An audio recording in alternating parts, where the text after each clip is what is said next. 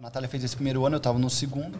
E aí começaram já algumas pessoas próximas a falar, ó, vocês têm que ir para São Paulo, vocês querem passar? O cursinho top é lá. É, o top é, lá. porque E aí vocês começou não essa conversa e, na na nossa verdade, cabeça. não era nem porque era top. Falou Não é- assim, é, vocês o não estão com noção de realidade. Por quê? Porque aqui vocês estão num universo micro e vocês precisam ir para o macro. Olhar quem de fato está ali, nas cabeças batendo, dos concursos. é, tá indo pra segunda Enquanto fase. vocês estiverem aqui em Franca, nesse mundinho de vocês, a sua concorrência é o seu colega do lado. Quando lá em São Paulo, você vai ver é, é, um universo de milhares Total. de pessoas de outros universos. E num primeiro momento, a gente não, será? E nós somos assim, ah, então o que é? Vamos ver. Paga né? pra ver.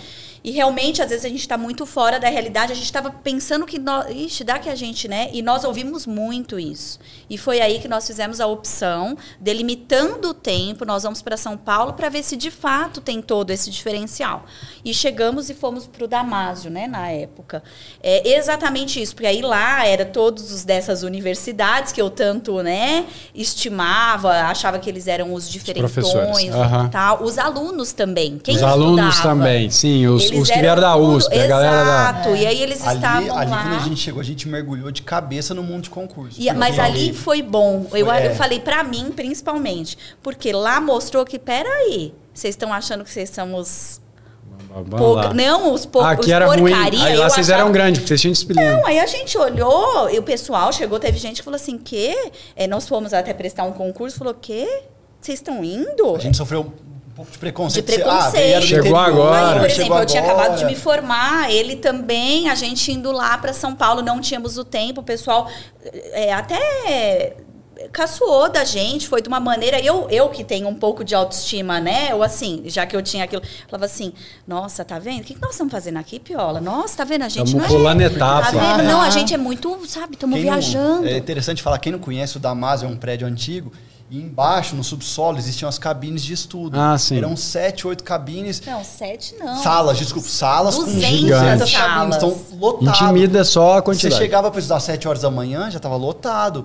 Então, assim, é, as pessoas estavam vivendo aquilo. Ali e a gente passava era- nos corredores, a gente viu as discussões jurídicas, um pessoal nós, falando e falava assim, nossa, o que, que Só desembargador que não tinha passado. Exato, exato, é. exato. Sei É, como é. era isso. No primeiro momento te assusta. Aí aconteceu esse fator que a Natália falou. A gente foi prestar uma um concurso. De treineiro, porque De assim, treineiro. todo mundo, ah, é bom às vezes prestar Claro. pra poder ir se familiarizando. E aí eu lembro que ia ter o MP de Minas, e é um dos mais difíceis, porque é muito aprofundado e tal, tem algumas coisas muito sem noção.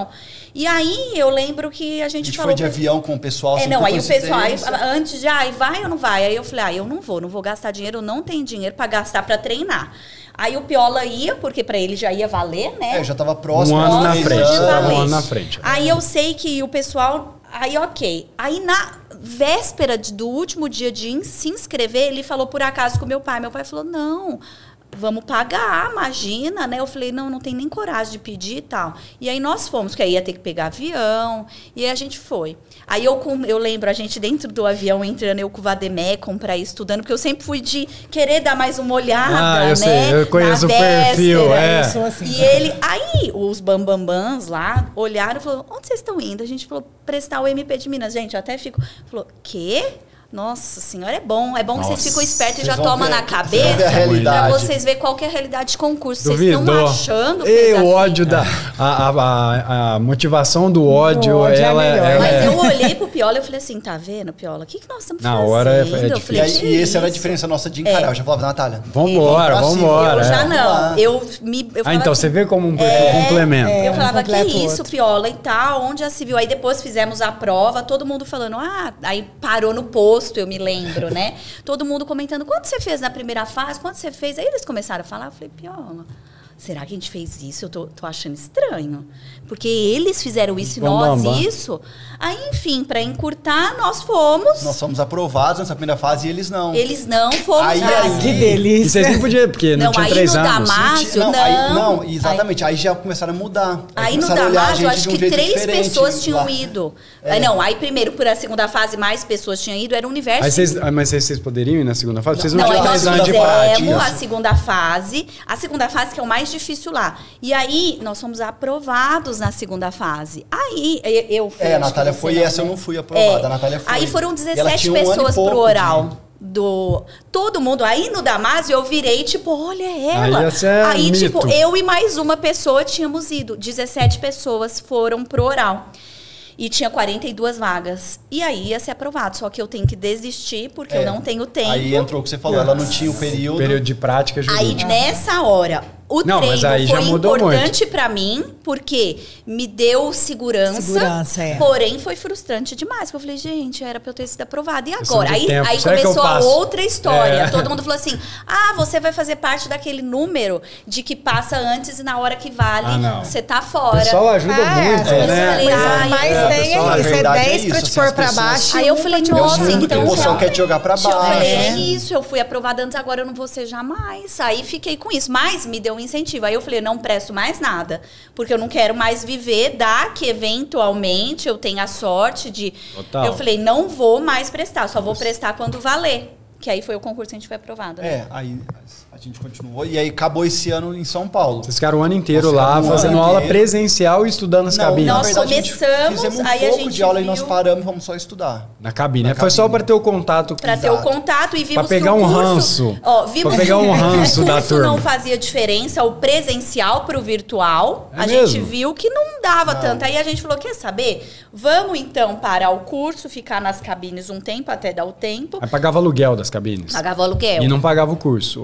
Aí Não não pagava- o curso. o curso. Aí a gente pagava só as cabines e aí íamos cedo, ficávamos, estudávamos nos finais de semana também lá na O cabine. legal O foi maçom, é, é- ele estudava nessas cabines, né? Não É, sei, se, é, não sei estudar, se é a eu- mesma, né? Enfim, mas ele falava que era religiosamente, horário de É, trabalho. É, Chegava horário às de sete. trabalho, era tem disputado, disputa de local, se é mais perto de ar-condicionado É. ou não, mais próximo dos banheiros. Era todo Eu uma. reputo assim, pra gente foi muito bom, uma experiência de vida.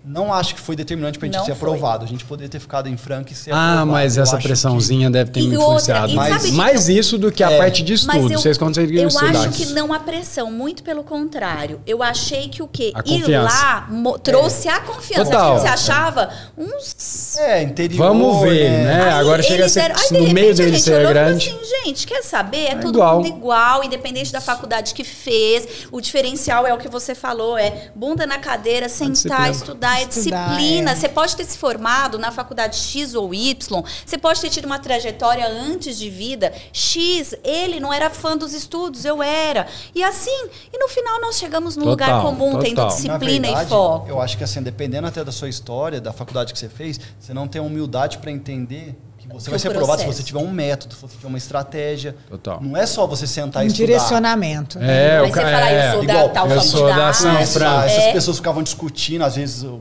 doutrinador alemão. Isso, não é, é. aprovado. Olha só, isso aqui que você assistiu é só um trechinho do Brabocast. Esse episódio completo ficou muito massa. Eu vou deixar aqui para você nos comentários e na descrição o link completo.